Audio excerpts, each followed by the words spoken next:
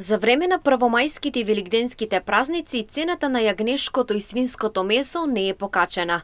Цената на јагнешкото месо, жива мера, е од 230 до 270 денари за килограм, но оваа цена не може да се достигне поради кланичните услуги кои што даваат цена околу 600 до 700 денари.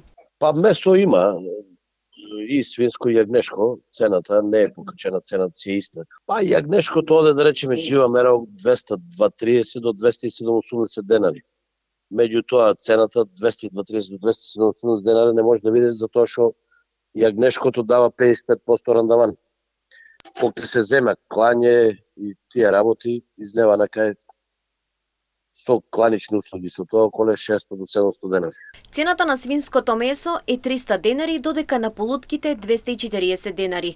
Во споредба со цените, поприуштливо е свинското, бидејќи јагнешкото е поскапо. Тоа е нормална цена, па да, треба да има доволно, има доволно. Свинското е старата не е покачено, значи свинското си е околу зависи сега од а, која категорија, околу 300 300 полутките се 240 денари.